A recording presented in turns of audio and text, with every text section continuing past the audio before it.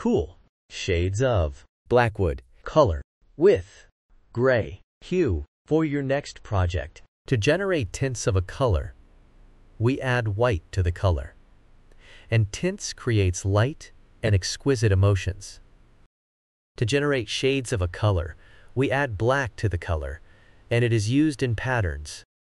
3D effects, layers and shades create depth and drama.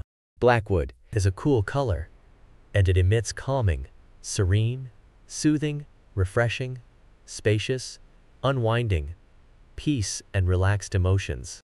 Cool colors are like water. Ice, sky, grass, soft and snow. You can see them used in baby products,